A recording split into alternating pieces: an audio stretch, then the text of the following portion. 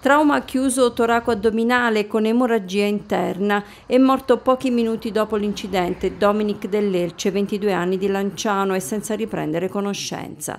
A stabilirlo è stata l'autopsia eseguita dall'anatomopatologo Domenico Angelucci alla presenza del medico di parte della famiglia del giovane, il Dopolidoro. Dall'esame autoptico è emerso anche che Dominic indossava la cintura di sicurezza, ma non è bastato per salvargli la vita. Troppo violento l'impatto tra le due autovetture, avvenuto poco prima dell'una di notte in località accesa San Vito Chietino.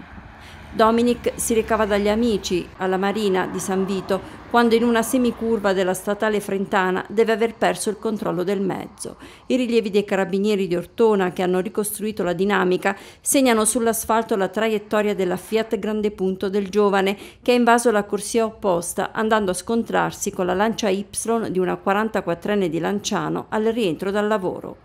Dopo l'autopsia la salma del giovane è stata restituita alla famiglia a Villa Elce, dove è stata allestita la camera ardente. I funerali si svolgeranno giovedì pomeriggio alle 4 nella chiesa parrocchiale Madonna del Pozzo.